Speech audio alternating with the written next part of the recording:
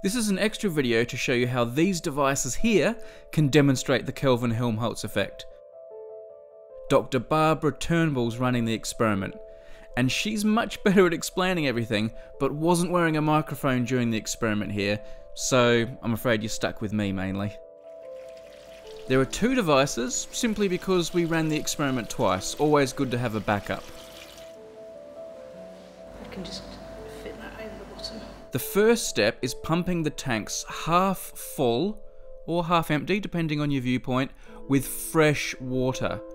We left the fresh water clear here in tank 1, but in tank 2, the fresh water's dyed red, just for ease of viewing. Oh, yeah. That is hideous. Lovely.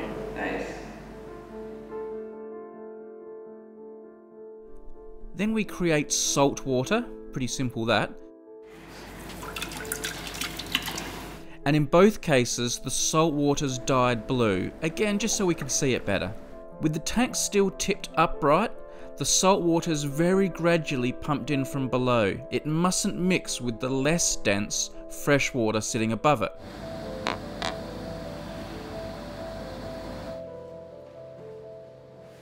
So you can see the fresh water stays on top.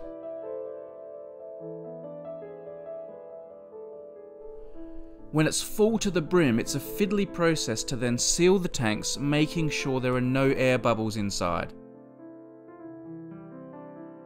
Next, and this is done very carefully in incremental steps, the tanks are tipped to the horizontal.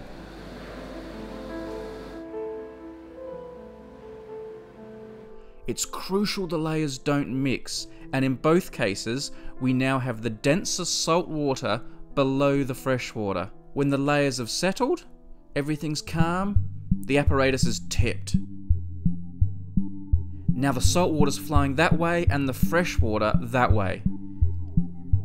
And there's our effect in tank 1. Here are some more camera angles.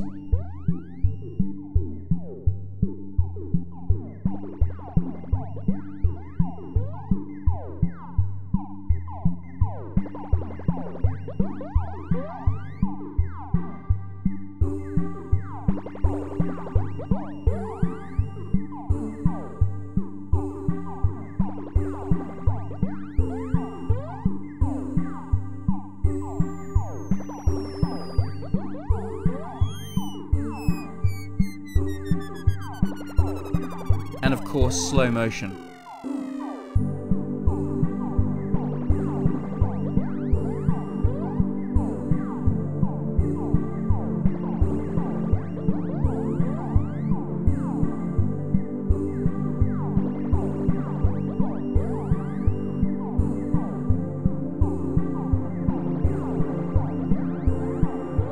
And then as promised, we did it again in Tank 2. And of course, there it is again.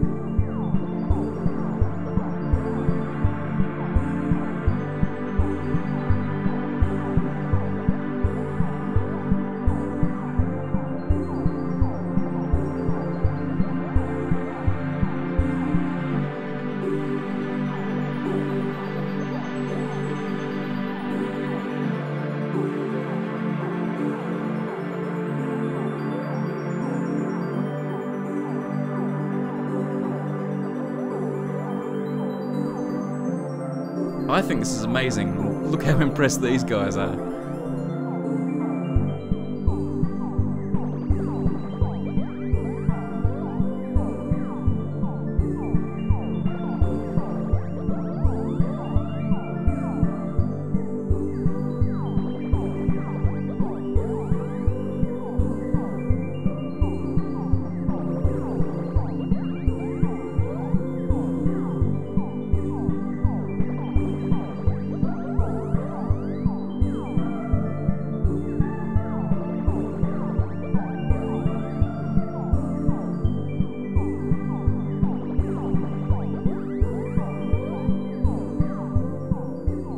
Case you're wondering, we measured the salt water just to check its density. So there you go. And if you're wondering why these tanks are even here, well, the University of Nottingham students do this experiment as part of their studies, as you can see. Thanks again to Dr. Turnbull, and to see our main video on the Kelvin Helmholtz effect, you can click the links on screen or in the video description. Over the top of this bump here is actually travelling faster than the, the material below.